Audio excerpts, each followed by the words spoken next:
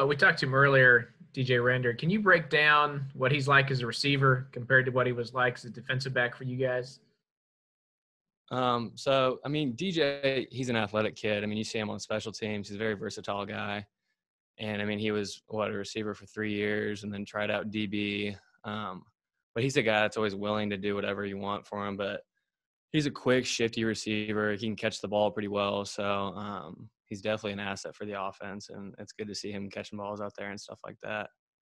You guys have a deep as a defense have uh, put up some points the last couple weeks with these pick six, pick sixes.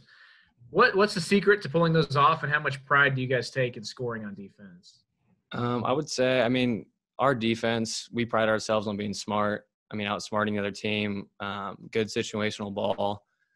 Coach Klanderman puts us in the right spot. Um, I mean, you see Justin Gardner. That was just a smart play by him. He saw two offensive linemen pull into the back with that running back sneaking out, and he was just sitting there. I mean, you saw Wyatt almost picked it off as well. So I would just say, I mean, our players are smart. Um, we're in the right spots at the right time, but you got to give the credit to Coach Klanderman putting us in the right spot. Do you guys feel uh, any momentum building now you got four in a row, or can you? What, what's it like in the locker room being on a winning streak like this? I mean, it's awesome. I mean, you love winning games and stuff like that. Um, but I mean, we we remember Arkansas State. I think that was definitely a gut check for all of us, and we keep that same mindset every week. I mean, we're an underdog again. Um, but you know, as a defense, you know, we want to keep it rolling. We want to keep getting off the field, three and outs and stuff like that.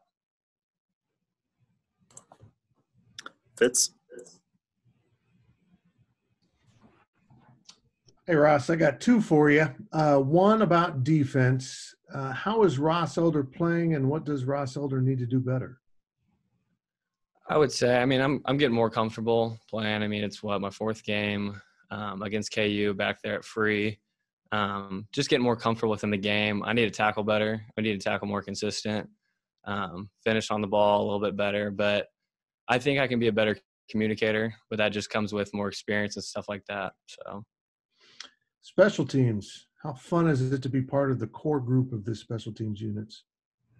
It's awesome, man. I mean, we got a lot of players that buy into it, like Brock Monty, Landry Weber, and Stanton Weber. I mean, you got to give him credit for coming up with schemes. He spends more time than anybody in the country on special teams, and um, it's really cool to see, you know, guys like Brock and Landry and everybody invest their time in special teams because it's it's another it's a third of the game, and most teams don't realize that, but here we do, and the coaches put the time into it, and um, we take it very seriously. And I mean, it shows on the field. We have been scoring scoring some touchdowns the past couple games, so it's it's pretty big for us. Thank you, sir. Adam. Another question on DJ Render. DJ has a very fun and silly personality. He's um, always makes people laugh just by his actions. Just what's it like having someone like his personality on the field and in the locker room, just always making people laugh and cracking jokes? I mean, you love to see it. Um, so he was in the DB locker room what for the past year. So I was around him a lot. He's always he's always talking and stuff, cracking jokes. So it's always good to have somebody like that in the locker room that you know uplifts every other person behind him and stuff like that.